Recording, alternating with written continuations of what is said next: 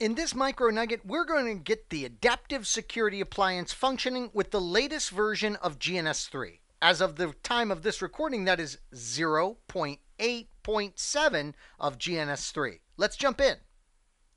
Yes, indeed, I did not lie. It is 0.8.7 as of the time of this recording.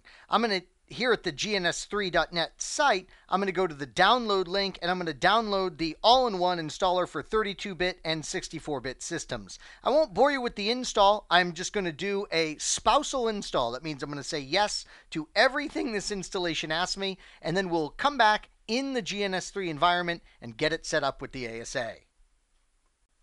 All right, we've installed GNS3 and we have launched it and we get this setup wizard. Awesome. I'm going to click on step one and I'm going to navigate to my Dropbox where I have set up a GNS3 root and I have a projects folder. Then for images, I've got those in GNS3 uh, as well on my Dropbox. That's GNS3 root images. So go ahead and navigate to the projects and images folders that you would like. I love to leverage Dropbox here. We're going to say OK. Step two, we're going to test our settings with Dynamips and make sure it's in good shape. We should see a green message here, a message in green saying successfully started for Dynamips. That's awesome.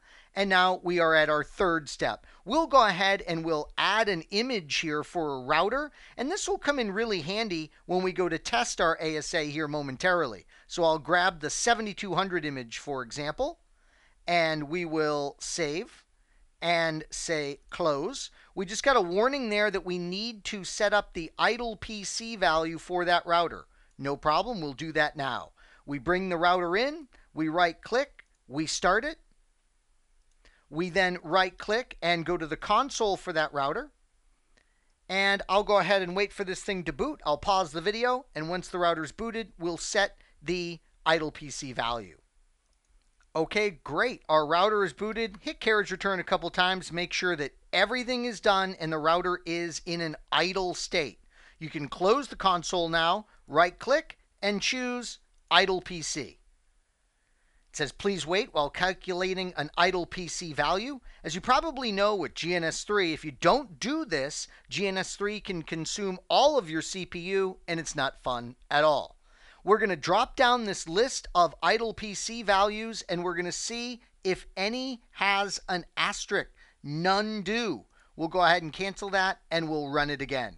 So we'll right click, choose idle PC, and have it automatically calculate an idle PC value that would be preferred for us again. All right, we're going to drop the list and there's one. The second one in the list is found to be great. We'll say OK.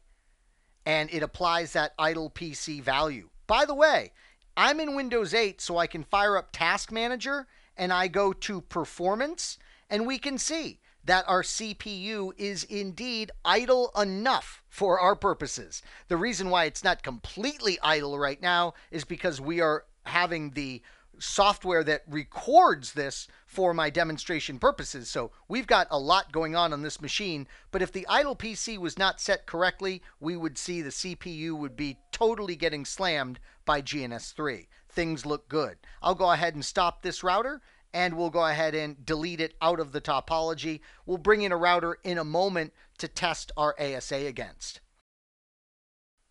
And speaking of the ASA, it's time to get it set up. So we're going to go to the Edit menu and we're going to choose Preferences.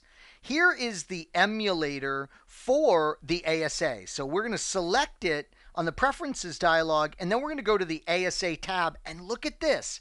It has a pre-configuration we can load for an ASA 8.4.2. We could also load a pre-configuration for 8.0.2.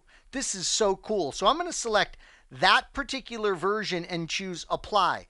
It puts in the RAM for this image, the options for the emulator, the kernel command line settings. This is so great. It does all this for us, and this can be a real pain point when you're trying to get one of these ASAs working in GNS3.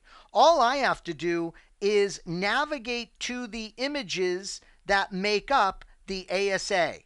So I go to the two files that we are going to utilize, the initrd and the kernel files that you can extract uh, from your ASA that make up these settings. That's all we have to do now.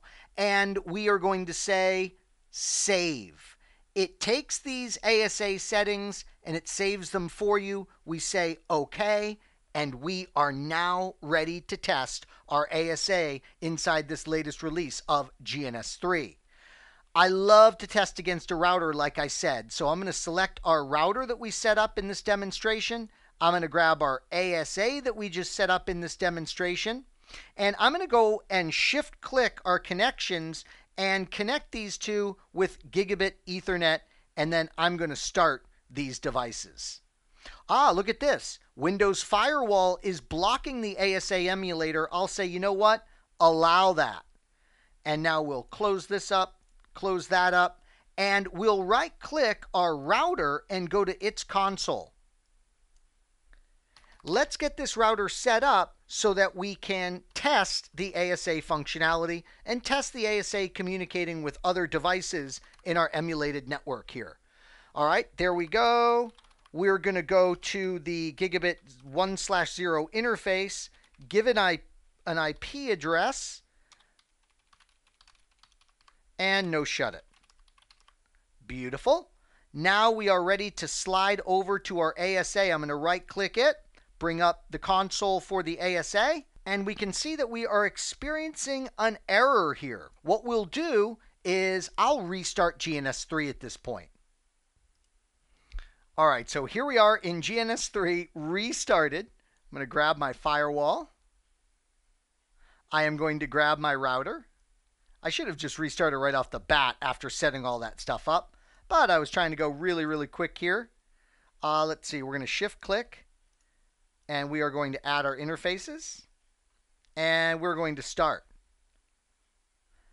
By the way, we didn't see this before and that was most likely our issue. Yeah, the emulator did not launch properly. That Windows firewall probably did impede that. Okay, now let's start with the ASA here because that's the tricky part. And look at that. The ASA is indeed loading. All right, I'll minimize that. I'll right click R1 and go to its console once again, and we'll get it set up for testing purposes. Interface gigabit 0 1 slash 0, our IP address. We'll no shut that interface.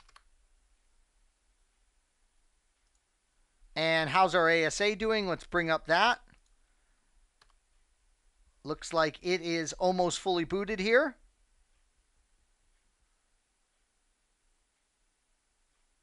Okay, great. It is fully booted.